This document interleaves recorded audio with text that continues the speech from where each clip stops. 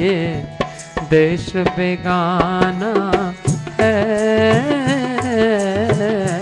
ये देश बिराना है। नहीं देर लगेगी सब छोड़ के जाना है। नहीं देर लगेगी देर लगेगी नहीं, देर लगेगी। सब छोड़ के जाना है, सब छोड़ के जाना है। नहीं, देर लगेगी।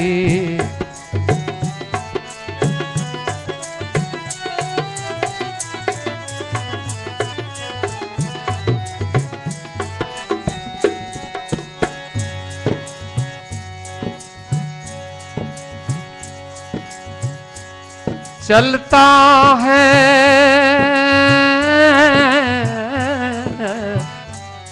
चलता है उठा कर सिर, करता है मन मानी। चलता है उठा कर सिर, करता है मन मानी। ये सिर झुक जाना है ये सिर झुक जाना है। नहीं देर लगेगी सब छोड़ के, सब छोड़ के जाना है। छोड़ के जाना है, नहीं देर लगेगी। ये देश ये देश बिराना है, ये देश बिराना है।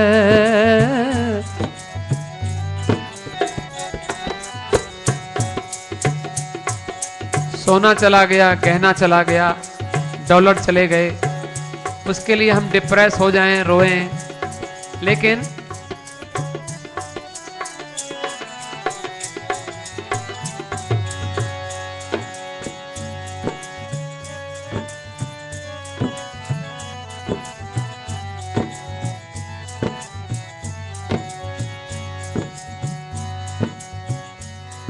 उस घर में जाने को न मिलेगी कार तुझे। उस घर में जाने को न मिलेगी कार तुझे। पैदल ही जाना है, पैदल ही जाना है। नहीं देर लगेगी नहीं देर लगेगी देर लगेगी देर लगेगी। सब छोड़ के जाना है, सब छोड़ के जाना है। नहीं देर लगेगी, नहीं देर लगेगी, नहीं देर लगे माता जी ने बहुत समझाया, बेटा। हयग्रीव को कहा, देख, जो आता है, आया है, सो जाएगा राजा, रंक, फकीर। एक सिंहासन चढ़ चला, एक बांधा जात जंजीर। एक महात्मा कहते हैं कि, देखो भाई, जब मरना है, जब जाना है तो ऐसा मत करो कि ज़्यादा बोझ मत बढ़ाओ। हम लोग कहते हैं, ये मेरा तो ये मेरा तो ये मेरा तो ये मेरा। और जब जाना पड़ता है सबको छोड़ के तो फिर मुश्किल हो जाता है जाना, क्योंकि लेके तो जा नहीं सकते। यहाँ का एक नियम, यही नियम है कि यहाँ आओ और यहाँ जितना चाहो खाओ, जितना चाहो संसार के सुख भोगो, बढ़िया से बढ़िया पहनो, बढ़िया से बढ़िया अगर आपको आगे के लिए कुछ चाहिए तो दे दो दूसरों को, नहीं चाहिए तो मत दो। लेकिन यहाँ से लेकर नहीं जा सकते। इसीलिए हमारे एक महात्मा ने लिखा उर्दू में, बराए नाम भी अपना, न कुछ बाकी निशा रखना, न तन रखना, न दिल रखना, न जी रखना, न जा रखना। बहुत मज़बूत घर है आकबत का दार दुनिया से, उठा लेना यहाँ से, अपनी दौलत और वहाँ रखना। मिलेगी क्या मदद तुझको, मददगारान दुनिया से, उम्मीद या बरी इनसे न यहाँ रखना, न वहाँ रखना। दुनिया वाले क्या मदद करेंगे? जब मौत आएगी तो सब बेचारे रोते रहेंगे। आँखों में आँसू भर के क्या करें? कुछ नहीं करेंगे। कोई हेल्प नहीं कर सकते। डॉक्टर बुला लाएँगे। पैसा खर्च करके दवाई ले आएँगे। लेकिन उस समय उन हकीमों को कहो यूँ बोल कर जो करते थे दावा, किताबें खोल कर लुकमान लुकमान हकीम था। लुकमान हकीम की कोई दवाई खाली नहीं गई कभी। लेकिन वो कहते हैं, जब तेरी ढोली निकाली जाएगी, बिन मुहूर्त के उठा ली जाएगी, जब तेरी डोली, जब तेरी डोली निकाली जाएगी बिन मुहूर्त के उठा ली जाएगी। जब तेरी डोली निकाली जाएगी, बिन मुहूर्त के उठा ली जाएगी। जर सिकंदर का यहीं पर रह गया, जर सिकंदर का यहीं पर रह गया, मरते दम लुकमान भी ये कह गया, मरते दम लुकमान भी ये कह गया,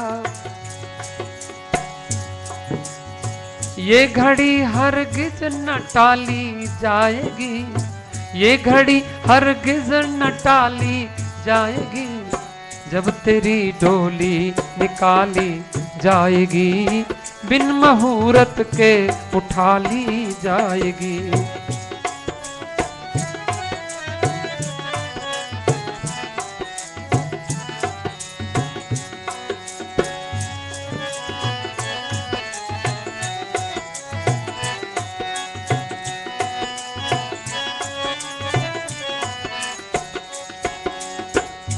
महात्मा का रूपक देखिए क्या उदाहरण देते हैं।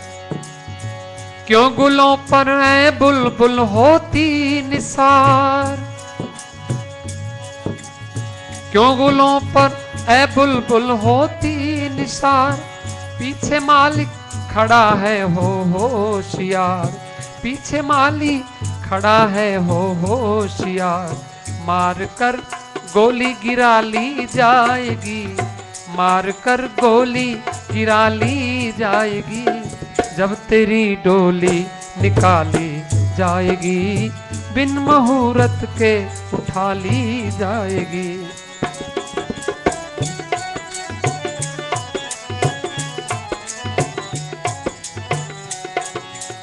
उन हकीमों को कहो यूँ बोल कर उन हकीमों को कहो यूँ बोल कर जो करते थे दावा किताबें खोल कर, जो करते थे दावा किताबें खोल कर। मैं ऐसी दवाई दूँगा कि आप, आपका बुढ़ापा आपसे भाग जाएगा मौत आएगी नहीं कभी। उन हकीमों को कहो यूँ बोल कर, जो करते थे दावा किताबें खोल कर। ये दवा हरगिज न खाली जाएगी ये दवा हर गिज न खाली जाएगी, जब तेरी डोली निकाली जाएगी। बिन मुहूर्त के उठा ली जाएगी, बिन मुहूर्त के उठा ली जाएगी, जब तेरी डोली सांचे दरबार की तो कहते हैं, यो, ये हयग्रीव की कथा सुनाते हैं। ये हयग्रीव की कथा हमें क्यों सुनाते हैं? देवी भागवत में, हयग्रीव माने घोड़े का सिर। हम भी तो घोड़े का सिर लगा के दौड़ते हैं ना। हम लोगों को भी, और हम भी तो हमें असुरों की कथा क्यों सुनाते हैं? बोले, हमारे भीतर भी तो एक राक्षस बैठा हुआ है। हम भी तो सोचते हैं हम मरे नहीं। सारी उम्र गंवा ली तू जिंदड़िए कुछ न जहान बिच खटिया। महात्मा कहते हैं, लेकिन न रहा बचपन, न रही जवानी, ना रही वो ऋतु मस्तानी और कहते हैं, न आया बुढ़ापा जो जानदा नहीं। हर चाल चला लई तू जिंदड़िए कुछ न जहान बिचों खटिया। कौन चाहता है बूढ़ा होना? आप लोगों को एक शुभ सूचना है, सवेरे हमारे यहाँ हर रविवार को सवेरे चार बजे कम से कम आज भी पैंतालीस लोग आए थे इस मंदिर में, सवेरे चार बजे। संडे को और वो योगाभ्यास होता है। यहाँ पर मेडिटेशन होता है और बाहर वो खूब योगाभ्यास करते हैं, खूब हँसते हैं। चार बजे से लेकर और सात बजे तक, तीन घंटे। चार बजे से कुछ म्यूज़िक होता है, पाँच बजे से फिर यहाँ पर कुछ एक्सरसाइज होती है, फिर मेडिटेशन होता है, बड़ा अच्छा है। तो हम लोग खूब सोचते हैं कि अच्छी बात है कि अपने बुढ़ापे को हम दूर भगाएँ, जवानी को रखें, जितना हो सके प्राणायाम करें, योगाभ्यास करें, फ्रेश एयर लें। मुझे बड़ा अच्छा लगा कि सवेरे चार बजे, पाँच बजे तो सब लोग आ जाते हैं, चार बजे से आने शुरू हो जाते हैं, एक एक दो दो लोग आते हैं। पाँच बजे तक कम से कम आज मैंने देखा फोर्टी फाइव लोग थे।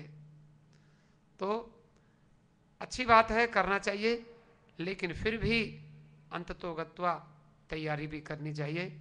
अपना गठरी बांधनी चाहिए, सामान जोड़ना चाहिए। क्या क्या ले जाना है क्या क्या जैसे हम लोगों को पैकिंग करनी होती है क्या क्या छोड़ना है क्या क्या ले जाना है।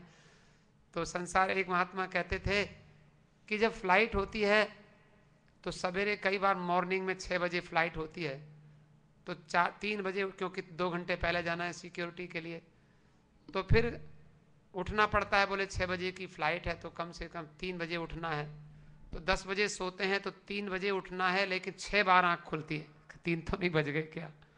बार बार उठते हैं, बार बार घड़ी देखते हैं, कितने बज गए? कि अभी तो ग्यारह बजे, अभी तो डेढ़ बजा है, अभी तो दो बजा है। तो बोले, जब कहीं फ़्लाइट पकड़नी होती है, कहीं दो चार हज़ार किलोमीटर जाने के लिए, तब इतना हम लोगों को चिंता होती है। लेकिन इतनी लंबी यात्रा पर जाना है, जहाँ से कभी लौट कर आने का पता ही नहीं कि लौट के आना होगा कि नहीं आना होगा। आना होगा तो इस रूप में आना होगा कि कौन से रूप में आना होगा। तो इतनी लंबी यात्रा के लिए हमें कोई चिंता ही नहीं है। तो ये कथाएँ इसीलिए सुनाई जाती हैं कि हम थोड़ी सी तैयारी करें। हयग्रीव को माता जी ने बहुत समझाया, लेकिन नहीं, मैं तो चाहता हूँ मैं मरूं नहीं। तो माता जी ने कहा, बेटा, मरना तो सबको पड़ता है, लेकिन मैं तुझे वरदान देती हूँ। कुछ और वरदान मांग ले, शर्त लगा ले कोई, कि हाँ माता जी अगर मैं मरूं तो मेरे जैसा ही कोई मुझे मारने वाला हो, मेरे जैसा माने उसको भी घोड़े का सिर हो। तो दुर्गा माता ने ये कथा सुनाई कि जब मैंने उसको, मैंने कहा था, थास तो। मैंने उसको वरदान दे दिया कि तुझे जो मारेगा उसको घोड़े का सिर होगा। इसलिए लक्ष्मी जी ने विष्णु भगवान को शाप दिया था। विष्णु जी, लक्ष्मी जी के मुख को देखकर हंसने लगे थे। तो लक्ष्मी जी को गुस्सा आ गया था। कभी भी किसी को देख के हंसना नहीं। पत्नी को भी देख के हंसना नहीं, क्योंकि कहीं उसको गुस्सा आ जाए, वो कुछ बोल दे। लक्ष्मी जी ने बोल दिया, और लक्ष्मी जी का बोला हुआ सच हो गया। तुम मेरे, मुझे देखकर हँसते हो, तुम्हारा ये सिर कट कर गिर जाए, और वो गिर गया। इसलिए यत्र नारियस्तु पूज्यंते रमनते तत्र देवता। देवी भागवत की कथा है, कभी भी खासकर स्त्रियों का अपमान नहीं करना चाहिए। माँ, बेटी, बहन जो भी हों, उनका आदर हो। पत्नी का भी आदर होना चाहिए। अवश्य ही तो उसको इसलिए यहाँ लक्ष्मी जी ने जो कुछ, लेकिन दूसरा पक्ष बताते हैं कि लक्ष्मी जी ने जो श्राप दिया था वो अच्छा ही हुआ, क्योंकि वहाँ फिर विष्णु भगवान का सिर जो कट गया था तो विष्णु भगवान के सिर को, उनको फिर घोड़े का सिर ब्रह्मा जी ने जोड़ा। मैंने उस दैत्य को तो वरदान दे दिया कि तुम आनंद पूर्वक राज्य करो और निश्चित रहो, तुम्हें कोई न देवता मारेगा, न तुम्हें कोई दैत्य मारेगा और तुम्हें जब भी कोई मारेगा, तुमको उसको घोड़े का सिर होगा। उसने कहे तो हो ही नहीं सकता है। उसने अपनी बुद्धि से सोचा था, कहाँ घोड़े के सिर वाला कोई मुझे मारने आएगा? लेकिन जो जैसी भवितव्यता, तैसी हो तो सहाय, आप तहाँ नहीं जा सके, ताहे तहाँ ले जाए। हम लोग बहुत चालाकी करते हैं, लेकिन भगवान चालाक के लिए बहुत चालाक हैं। भगवान को हम कितनी भी चल चालाकी करेंगे तो हमें फिर वो हमारी मौत जैसे भी आई आनी है वैसे